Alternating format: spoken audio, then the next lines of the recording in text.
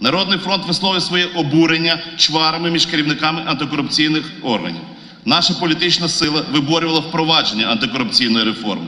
І дуже прикро, що антикорупційні органи перетворили свою роботу на піар, а тепер ще елементами трагікомедії. Рівень довіри до них у суспільстві катастрофічно впав. Ніхто не дискредитував боротьбу з корупцією в Україні так, як це зробили саме новостворені антикорупційні органи. Третє. Народний фронт давно вимагає зняти законодавчу вимогу про обов'язкове декларування доходів громадськими активістами та особами, які отримують іноземні кошти за програмами допомоги, а також іноземними членами наглядових рад. Наша позиція залишається незмінною. Саме уряд Арсенія Яценюка ініціював ключові антикорупційні реформи, зокрема і запровадження так званого електронного декларування.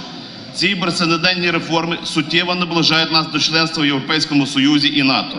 Є декларування стало можливим лише завдяки політичній волі прем'єра Арсенія Ценюка і фракції Народного фронту.